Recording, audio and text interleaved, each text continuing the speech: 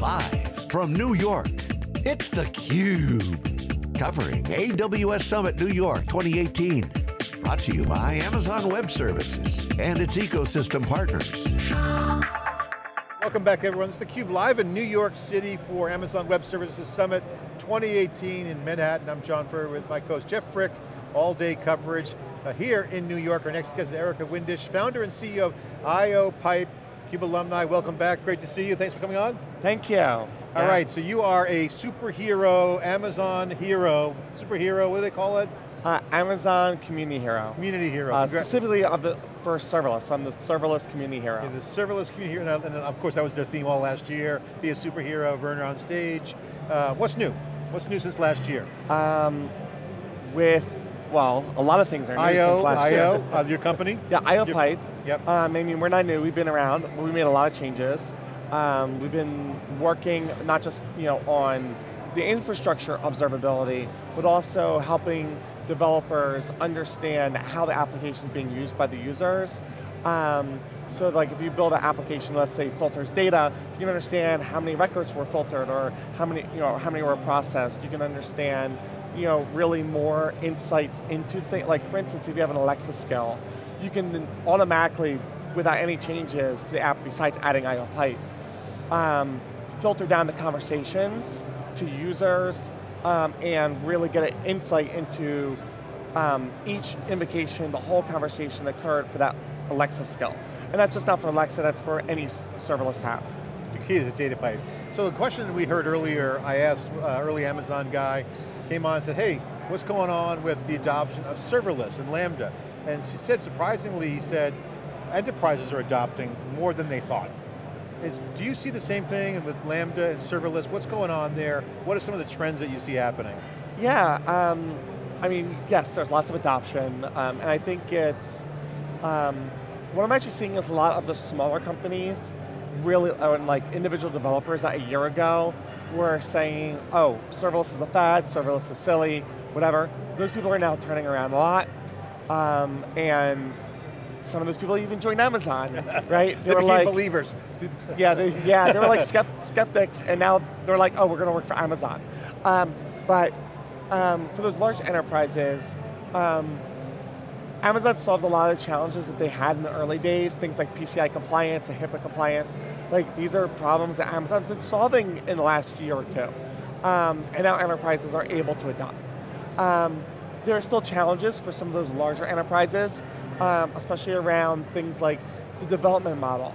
It's a bigger paradigm shift to go to serverless than it was to go to Docker. Because with Docker, you already moved things to VMs, you just have to like shrink that image and fit it into containers. And now with serverless, it's easier, but different, right? It's, so like, I would say it's easier than containers were, but also more different than they were. So mindset's shifting, yeah. easier, so you kind of got to take a leap of faith if you're from the old VM world. You go, okay, I've got to kick the tires, I've got to go play with it.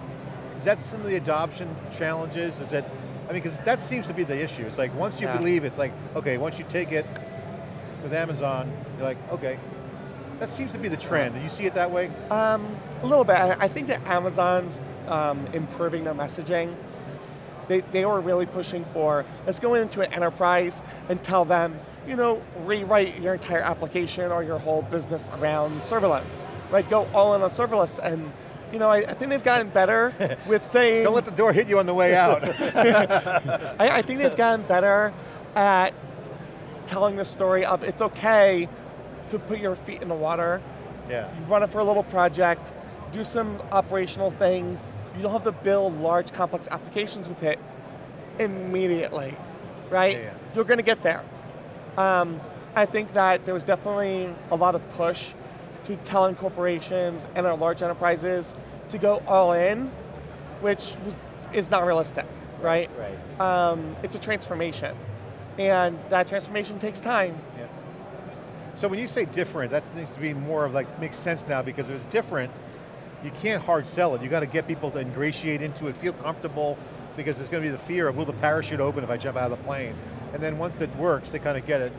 I guess the question I would have is, if I'm a developer and I'm like, okay, it functions as a service, you got to land, all this cool stuff, with microservices right around the corner, you get containers, you see service meshes and you see Kubernetes, certainly the cloud native community's been going crazy over Kubernetes, and the, the, sure. with the eye on service meshes. What's your take on that? How does that fit into the serverless trend? Is it orthogonal? Does it connect? Is it a migration path? So, I look at serverless applications are stateless applications that run on stateless architecture. Um, you cannot, you know, serverless is a stateless architecture that requires it to be a stateless application.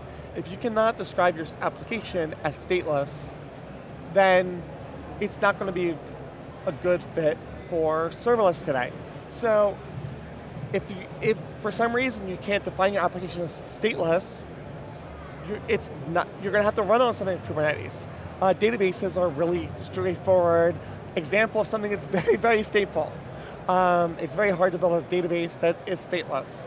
So databases are a place where serverless is not going to be a good fit. Um, and those workloads, those stateful applications, are going to continue running for now on things like Kubernetes.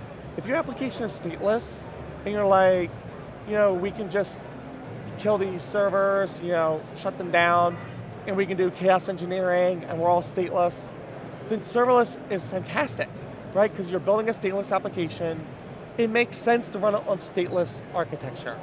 Yep. Makes sense.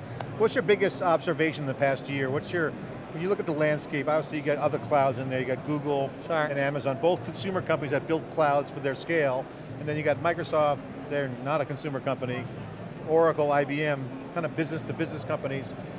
Is there a trend, I mean, we've been kind of poke at this, Stu and I and, and the team have been like, okay, is there a pattern? Is there going to be two sides of the street?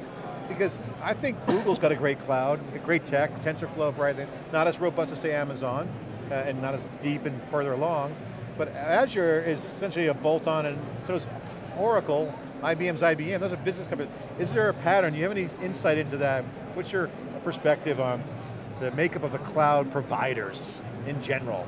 I mean, yeah. is consumer a good thing? I think it is, but then those other companies don't have a consumer background.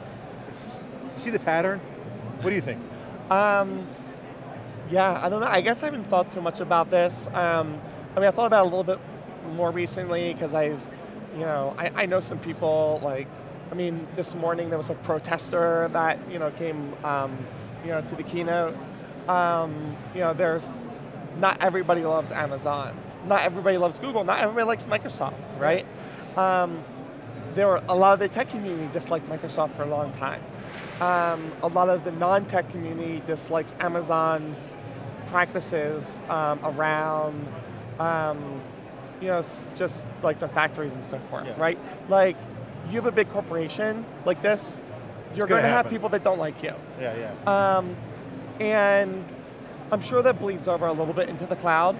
Uh, probably not so much at the enterprises, but I mean, like the fact that these are large enterprises with multiple business segments and, and subsidiaries and whatever, yeah. like that all affects the end product. I was talking with a person at Google, it was a great interview I had with her, and she was talking about like, okay, they did a study around what makes developers happy.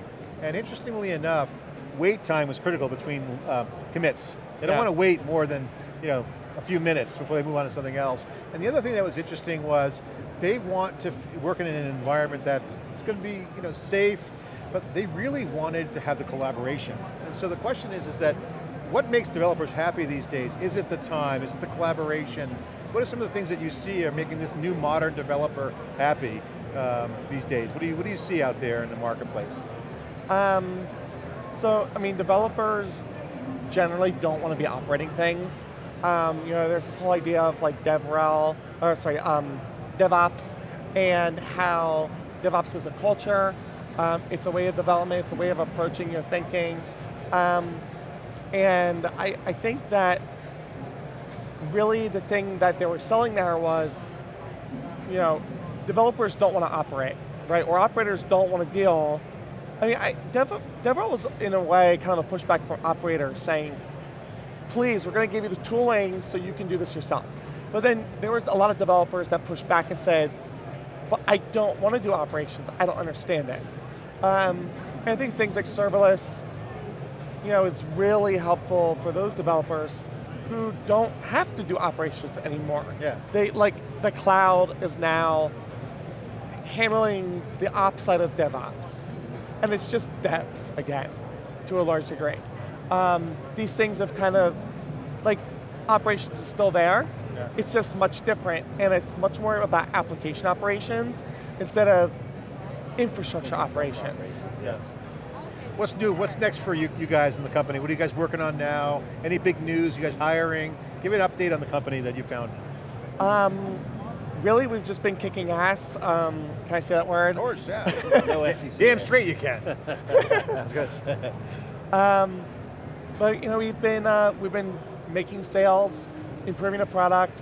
Um, we're about to release uh, what we call auto tracing, which is going to give um, users, developers, insight into API calls and their responses and their timings and so forth.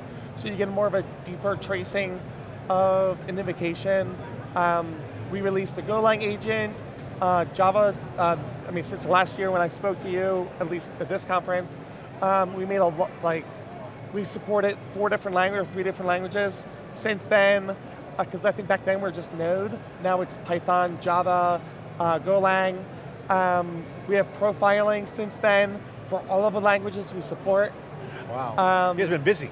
We've been very busy. So we've just been building and building and building and selling. Awesome. How many people in the company now? Um, Still lean and mean? yeah, just shy of a dozen, I think. Cool. Yeah. Awesome. Well, congratulations, Eric. Great to see you. Thanks for coming on theCUBE. Thank you. Serverless hero here at AWS on theCUBE, bringing it down. We're a stateful and stateless application whenever we want to be in theCUBE. Of course, we're bringing it without any service because we are in Amazon. Thanks for sharing the commentary. I'm John Furrier with Jeff Frick. Stay with us for more coverage here for all day here in Manhattan for CUBE coverage of AWS in uh, New York City. We'll be right back.